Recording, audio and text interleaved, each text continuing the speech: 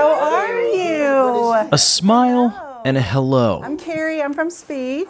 go a long way at the Grow With Me clinic. We love coming to grow with me. Tiera and Micah bring their twins, Luca and Liliana, on a regular basis. Oh, that's great. We have a lot of some sensory issues and, and other things, and they actually understand. That's because the East Tennessee Children's Hospital team is made up of multiple disciplines, experts in different aspects of care for children diagnosed with NAS.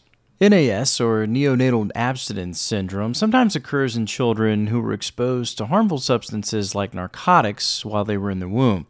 Early intervention is crucial for babies born with NAS so that children can meet their developmental milestones on time. Our team is made up of a nurse practitioner, social workers, an occupational therapist, a speech therapist, a dietitian, and a psychologist.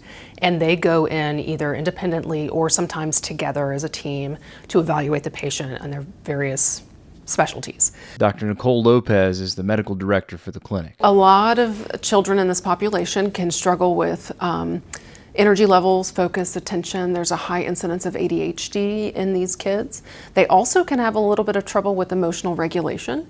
We don't entirely understand why those things exist, but that's what we see again and again. Let's find. That's why our team is committed to patient centered care.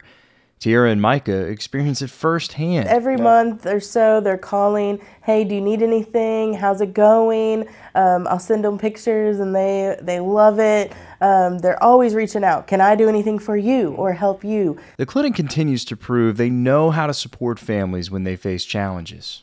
it's even helped me adjust my attitude towards their situation. So it's it's been very helpful because they give us a lot of pointers and how to handle all that stuff. So it's it's amazing to be able to have that team to be able to support you and all that. Program coordinator Caroline Milford sees how successful the many types of therapies are for kids. parents are, are pouring into these kids with all these recommendations we've made, with all these appointments that they take them to. Um, and Grow With Me is all about early intervention. Like, that is so key for our kiddos. And so they really show that if you do these things early, the amount of growth that these babies have, have overcome in four years almost, um, over three years, it's really beautiful to see that these services are working. And for proof, you don't have to look far. Who knows how to jump off both their feet? Liliana and Luca are blossoming every day Jump! See if you can do it.